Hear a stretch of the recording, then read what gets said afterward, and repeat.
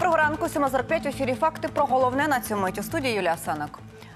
Семеро людей з опіками в лікарні, ще трьом надали допомогу на місці. В окропі ледь не потонула маршрутка й тролейбус. Дісталася й припаркованим поряд машинам. Загалом нижні поверхи одного з найбільших в Україні торгівельних центрів Ocean Plaza. Такі наслідки прориву тепломережі, що стався напередодні ввечері в Києві. Гарячою водою залило вулицю і підземний перехід. Користувачі соцмереж поширювали відео, як охоронці виводять з торгівельного центру відвідувачів. На місце виїхали аварійні служби та рятувальники, відкачували воду і виносили людей з окропу. Прибув на місце заступник голови КМДА Петро Пантелєєв. Він заявив, що ситуація позаштатна. Ця тепломережа не найстаріша в столиці 87-го року. Водночас загалом у місті 80% тепломереж зношені, асфальт і ґрунт на місці події знімають для ліквідації пошкодження, а будинки, що вимушено опинилися без тепла, перепідключатимуть до інших мереж. Пішло наводнення сильне сюди, на трасу. Я побачив цей туман, наводнення, бачу людей почали вигонити, столкновення почалось тут велике на трасою. Швидка стояла. Ну там я думаю, що жертв не повинно було бути, тому що провалилось тільки заднє колесо. Е, І пасажири, я думаю, що мали змогу вийти через передні двері.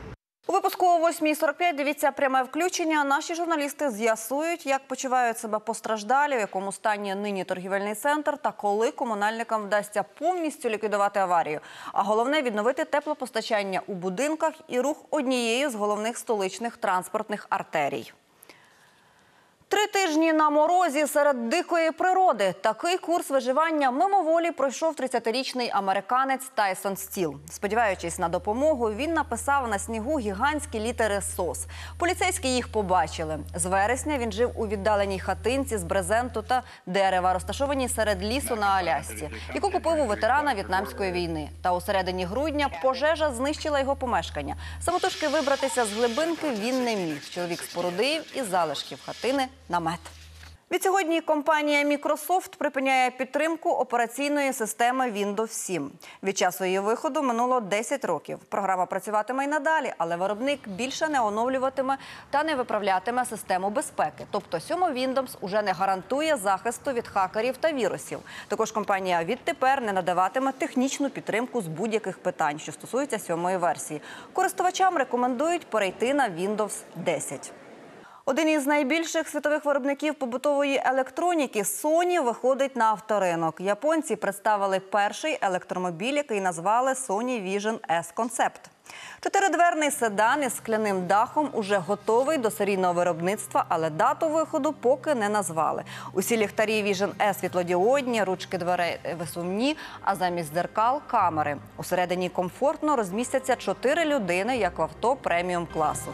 Від механічних важелів відмовилися для водія аж 5 дисплеїв, а усі перемикачі сенсорні. Авто має два електромотори потужністю 550 кінських сил, які до сотні вистрілюють за 5 секунд. Запас ходу також вартість електрокара поки не розголошують. Півсотні нацгвардійців під акомпанемент військового оркестру привітали одеситів та гостей міста із старим новим роком та святами. Біля головної ялинки міста хор військовослужбовців виконав кілька щедрівок та колядок, серед яких всесвітньо відомий щедрик Микола Леонтовича.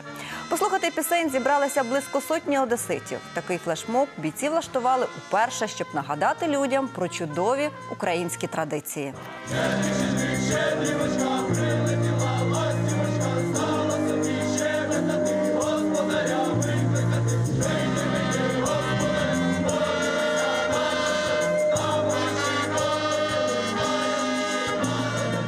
можно редко увидеть, тем более в такие праздничные дни, э, как бы прибавляется э, новогоднего настроения. Честно говоря, почувствовала себя, как будто бы я в школе на концерте.